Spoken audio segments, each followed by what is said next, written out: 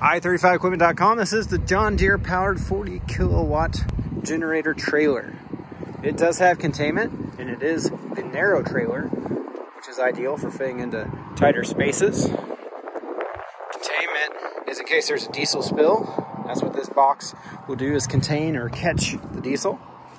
Welcome you to come look this trailer over for yourself. You can bring your mechanic, operator, and electrician or hire local ones if you desire to check it out with you or for you.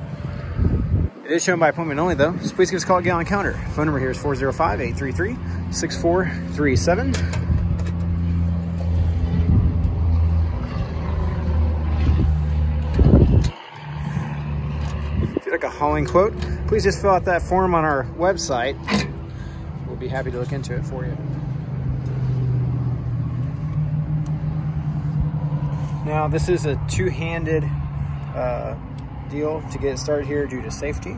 So bear with me as I get started. Uh, you have to press this button in and hold it in for about 15, 20 seconds, let the motor warm, and then it goes. And of course your key is here. So I'm gonna zoom out to the fisheye lens, may distort it a little bit, give you a good view of what's going on. All right, here we go. Here's the button going in and the key turning.